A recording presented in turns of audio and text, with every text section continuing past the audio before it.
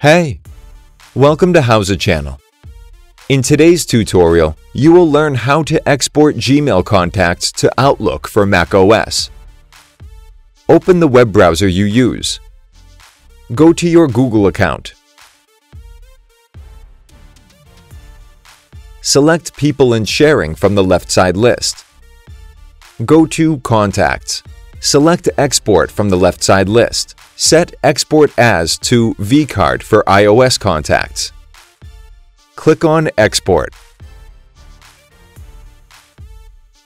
Move the file onto your desktop. Launch the Outlook app. Double-click on the Contacts file. Click on Import in the pop-up window. You can also right-click on the Contacts file and select Open with Outlook. That's it. Thanks for watching the video. Please like it and let us know if you use any of our tips and tricks. Subscribe to our channel. We upload new tutorials every day. See ya!